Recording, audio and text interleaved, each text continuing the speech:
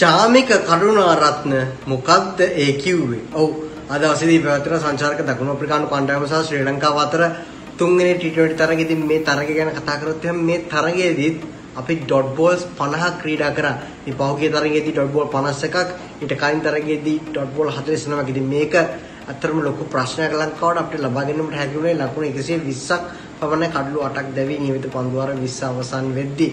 ඉතින් මේ ඉනිම ගැන කතා කරොත් එහෙම කිසිම ක්‍රීඩකයෙකුට හය පාරක් එල්ල කරන්නට අවස්ථාවක් හම්බුනේ නැහැ. චාමික කරුණාරත්නට ඇරෙන්න. ඔහු අවසානයේදී ඇවිල්ලා අංක 9 පිටිකරුවා විදිහට ඔහු ආවේ ක්‍රීඩා කරන්න. ඔහු ලකුණු 24ක් ලබා ගන්න පන්දු 19ක් තුලින් එහිදී ඔහු හය පාරවල් දෙකක් එල්ල කරනවා. ඉතින් අපි කතා කරොත් එහෙනම් මේ එක හය පාරක් ගැන ඔහු 19 වෙනි පන්දු වාරයේදී මේ හය පාර එල්ල කරන්නේ ව්‍යායාම මෝල්ඩට. ඉතින් මෝල්ඩට ඔහු මේ පාර එල්ල කරලා අපි දකින්න ඔහු මේ බැට් එක මෙහෙම මෙහෙම කරලා නිකන් පෙන්නනවා වගේ.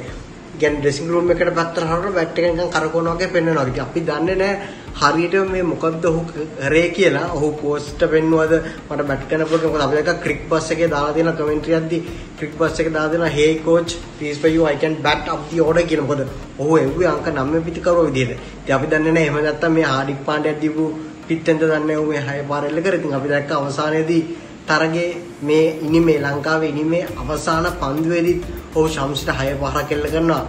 මම දන්නේ ඒ පන්දු වාරයේදී ඔහු එක ලකුණක් දුවන්න පුළුවන් අවස්ථාව ඔහු දිව්වේ නැහැ. ඊට පස්සේ අවසානයේට කලින් පන්දුවේදී ඔහු ලකුණු දෙකක් දුවලා ස්ට්‍රයික් එක අරගෙන අවසාන පන්දුවේදී ලෙග් සයිඩ් එකට ගිහින් දැවන්ත හය පාරක් එල්ල කරනවා. අපි දැක්ක ඔහු ඒ හය පාර එල්ල කරාට පස්සේ ඔහු දාපු ඇක්ෂන් එකත් අර හොඳ මොටිවේට් විදිහට අපි දැක්ක ඔහුගේ ඇග්‍රෙෂන් එක. ඉතින් ඒලා අපි දැක්ක ශම්සි ලෝක අංක එකේ T20 පන්දියවන්න ඔහුට ගොඩක් කේන්ති ගිහිලා තිනවා. ඔහු පොළේ මේව කකුල ගහනවා. ඉතින් මේ ඉනිම මම හිතන්නේ ලංකාවට පොඩි මුරල් බූස්ට් එකක් ගෙනාවා මේ අවසානයේදී